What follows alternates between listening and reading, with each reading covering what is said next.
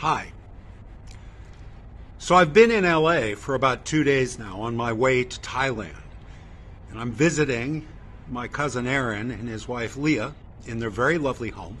They're very hospitable, lovely people, and uh, they've made me feel very welcome. But even though I was born in LA and I lived here till I was 10, I don't feel at home here. It's not my town. I haven't been here since I was a kid. You know, you just feel alien. You feel foreign when you're in a strange town. But it got me thinking about something. I want to share this with you. Last time I was in Bangkok was December 2021. I guess that's about six months ago, maybe. And uh, I always stay at the same place. I stay at the uh, Majestic Suites on Sukhumvit at Soi 4 because it's cheap and clean and safe, and the desk staff don't make joiners feel uncomfortable. And it's around the corner from Nana, so there's always action, there's always noise, shit happening. And uh, so I was there in December last year, and of course, everything was still COVID shutdown, and it was very quiet. I was jet lagged, I wasn't sleeping, so I'd go out every hour and have a cigarette on the sidewalk, as is my habit. And I was out at 3 in the morning on Sukhumvit, and it was absolutely deserted. It was silent, it was empty and the Yam Phao Yu is sleeping in the lobby of the hotel, and the cop is asleep in his kiosk there at the corner of Soi 4. So I'm standing there smoking a cigarette, and the garbage truck goes by, and like any garbage truck anywhere, it's leaving a snail trail of slimy water behind it. So the light turns red, and a taxi pulls up and stops at the red light. And this young man, about 19, 20 years old, comes flying up on a motorcycle, and he's got a very pretty young woman behind him, also 19, 20 years old.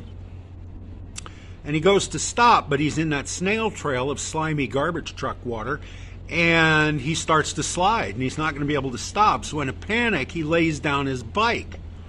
And he and the bike are now on dry pavement, and they slide to a stop. But the young lady goes on her belly on that snail trail of disgusting, filthy water, and she goes sliding forward at about 30 clicks, right into the rear wheel of the stopped taxi, face first.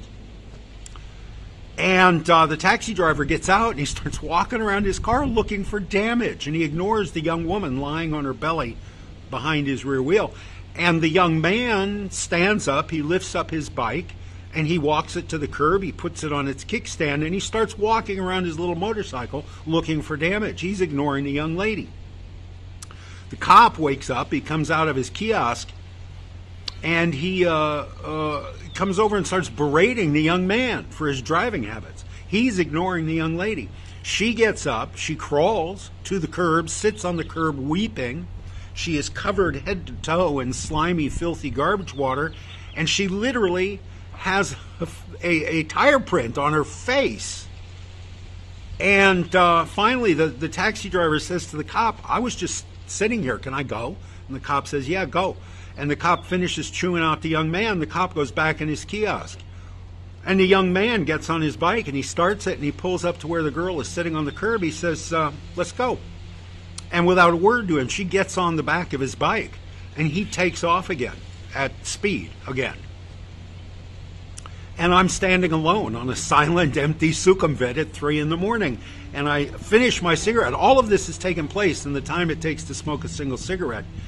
And I turn around, and the Yam Phao Yu is still asleep inside the lobby of the hotel. All of this has taken place maybe 20 feet in front of where he's sleeping, but it, there's a glass wall between him and the action. He's just slept through it. And I felt at home in that moment on Sukhumvit at 3 a.m., having just witnessed a near fatal accident, I felt perfectly at ease, perfectly uh, like everything was in its place, like I was in my place, that this is where I, I belong. I felt more at home on Sukhumvit at 3 a.m. than I did in eight years in New Mexico. So make of that what you will. I will be in Thailand, I think, about May 15th. And God willing, I'll be there for a long, long, long, long time. so look in front of the Majestic Suites at 3 o'clock in the morning And uh, you'll see me. You'll see me being very happy there for God knows what reason. Thank you for listening.